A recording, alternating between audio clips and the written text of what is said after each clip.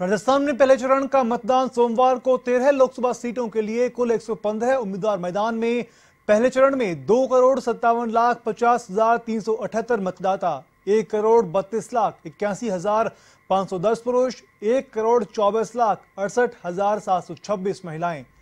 लगभग साढ़े छह लाख नव मतदाता पहली बार अपने मताधिकार का प्रयोग करेंगे। राज्य में कुल इक्यावन हज़ार नौ सौ पैंसठ मतदान केंद्र बनाए गए। प्रथम चरण में मतदाता अट्ठाईस हज़ार एक सौ बयासी मतदान केंद्रों पर मतदान करेंगे। अजमेर, टोंक, सवाई माधोपुर, पाली, जोधपुर, बाड़मेर, जालोर, उदयपुर, बांसवाड़ा, चित्तौड़गढ़, राजसमंद, भीलवाड़ा, कोटा और झालावाड़, बारा में चुनाव हैं।